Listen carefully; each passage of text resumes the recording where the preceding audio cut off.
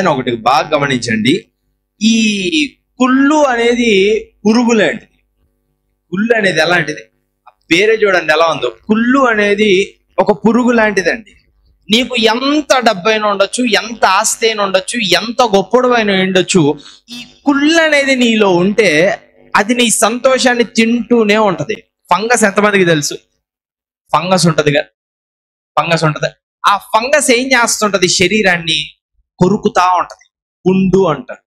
కొన్ని కొన్ని సార్లు ఎవరో ఒక స్త్రీ ఒక సహోదరికి నోట్లో అల్సర్ వచ్చిందంట.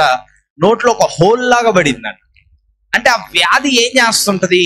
కొరుకుతా ఉంటది మనిషిని. ఈ కుళ్ళు అనేది కూడా నీ శరీరాన్ని కొరకదు కానీ కుళ్ళు అనేది ఒకరి వైపుగా నీకుంటే నీ సంతోషాన్ని ఆ పురుగు కొరుకుతా ఉంటది కుళ్ళు అనేది నీ ఆనందాన్ని అది కొరుకుతా ఉంటది. నీ జీవితంలో ఉన్నటువంటి మనశ్శాంతిని అది ఏం చేస్తుంటో తెలుసా? ప్రతిసారి పీడిస్తా ఉంటది.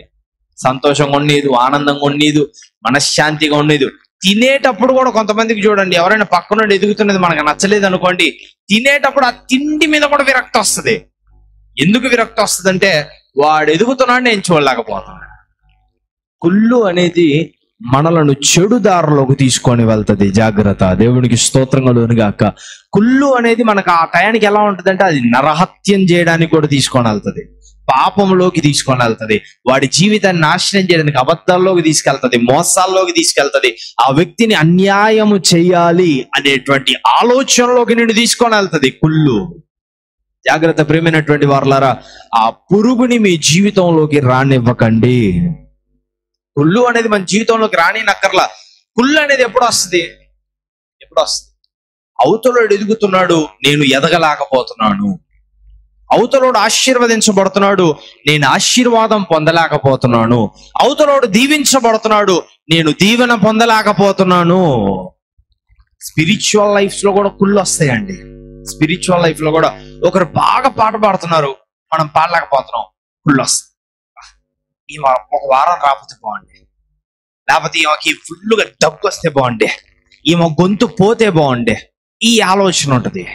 అవునా కదా? దైవజనులకు దైవజనులకు ఉంటది. బా ఈయన తొందరగా చచ్చిపోతే బాగుండే అనుకుంటాడు ఒక్కొక్క జస్ట్ అనుకుంటున్నాను అనుకుంటారు లేదో నాకైతే సరిగ్గా తెలియదు కానీ ఒక టైప్ ఆఫ్ ఫీలింగ్ కుళ్ళు అనేది ఎంత దూరానికైనా మనల్ని ఏం చేస్తా ఉంటది? It make us walk no matter how long the ways ఆ దారి ఎంత దూరం ఉంది తెలియదు కానీ నడిపిస్తా ఉంటది. ఆ కుళ్ళు అనేది. ఎప్పుడు వారి మీద ఎప్పుడు వారి మీద ఎప్పుడు వారి మీదే. నేను అనుకుంటున్నాను వారిని చూసి నువ్వు కుళ్ళుకోనక్కర్లా. నిన్ను చూసి నీ తల మీద ఉన్న నీ దేవుడిని చూసి సంతోషపడండి. హలోయ వారికి ఇచ్చిన దేవుడు నీకివ్వడా? వారికి అనుగ్రహించిన దేవుడు నీకు అనుగ్రహించడా వారికి స్వస్థతనిచ్చిన దేవుడు నీకు స్వస్థతనివ్వడా? వారికి ఆస్తినిచ్చిన దేవుడు నీకు ఆస్తినివ్వడా? వారికి మంచి స్వరమును ఆయన నామాన్ని ఆరాధించడానికి మంచి స్వరమును ఇచ్చిన దేవుడు నీకు ఇవ్వడా వారికి సంగీతాన్ని ఇచ్చిన దేవుడు నీకు సంగీతాన్ని ఇవ్వడా వాడికి మంచి కుటుంబాన్ని ఇచ్చిన దేవుడు నీకు మంచి కుటుంబాన్ని ఇవ్వలేడా చాలా మందికి ఉంటదండి. భార్య భర్తలు కనుక అన్యోన్య సహవాసం ఉంటే వీళ్ళకి ఎక్కలేని బాధ. తెలుసా? చాలా మంది కూడా ఏదో అంటారు కదా చిచ్చు పెట్టని ఊరుకోదంట వాళ్ళకి. చిచ్చు పెట్టకపోతే భార్య భర్తలు చూడడానికి కొన్ని కొన్నిసార్లు కొంతమంది భార్య భర్తలు ఎక్కువ ప్రేమ కనమాట చేతులు పట్టుకొని వెళ్ళడం ఎక్కడికైనా కానీ భార్య గారికి ఏది కావాలన్నా భర్త సహాయం చేయడం భర్తకి ఏది కావాలన్నా భార్య సహాయం చేయడం చేస్తా ఉంటే చుట్టుపక్కల ఉన్న వాళ్ళు ఎవరో ఒకరండి అందరూ ఉండరులేండి. అందరూ బా వాళ్ళలాగా మా కుటుంబం కూడా ఉంటే బాగుండు అనుకునే వాళ్ళు చాలా మంది ఉన్నారు. ఆశ కలిగిన వారి ఆశ దేవుడు తీర్చును గాక. కొంతమంది ఉంటారు. మా ఇంట్లో మనశ్శాంతి లేదు. వాళ్ళు ఎట్లా సంతోషంగా ఉన్నారు? ఏంటిది అంత కుళ్ళు. నా భర్త నాతో మాట్లాడినప్పుడు నా వీధిలో ఉన్న వాళ్ళ పరిస్థితి అంత అంతే ఉండాలా. నా వీధిలో ఉన్న వాళ్ళందరూ అంతే ఉండాలా. నా భార్య నాతో బాలేనప్పుడు నా వీధిలో ఉన్న వాళ్ళ పరిస్థితి అంతా అట్టే ఉండాలా. వెళ్ళి ఏదో ఒక సిచ్చు పెట్టేది గొడవ లేపేది ఇంటికాడ కూర్చొని షో చూసేది. వాళ్ళు కొట్టుకుంటా ఉంటే వాళ్ళు తిట్టుకుంటా ఉంటే ఆమె పుట్టింటికి పోతా ఉంటే వీళ్ళు ఈ షో చూడాలనేటువంటి ఆశ ఉంటది.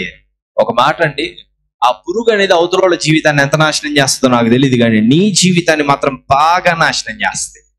అందుకే ఇది ఎవరు కూడా జీవితాల్లోకి రానివ్వద్దండి. అది రానవసరం లేకుండా దీవెళ్ళతో నింపేవాడు యేసుక్రీస్తు ప్రభువారు మనతో ఉన్నాడు. హల్లెలూయా.